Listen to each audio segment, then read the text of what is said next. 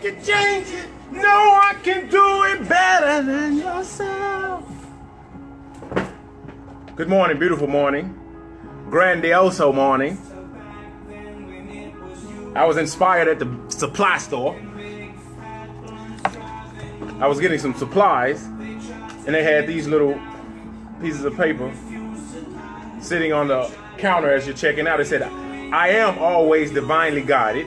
I always take the right turn in the road. God has always already made a way. God has already made a way where there seems no way. Whoa. Jeremiah 29 and 11 said, I know the plans that I have for you. Ready, ready, chest? Going live. Going live? Yep. Oh, you going live now? It's all good.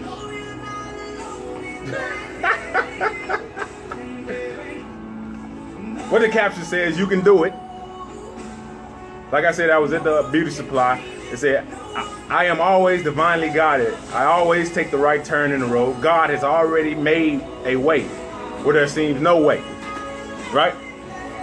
Jeremiah 29 11 says, For I know the plans that I have for you, the plans to prosper you and not to harm you, the plans to, for hope in the future. You can do it. You threw me off. I'm gonna go back live in a bit.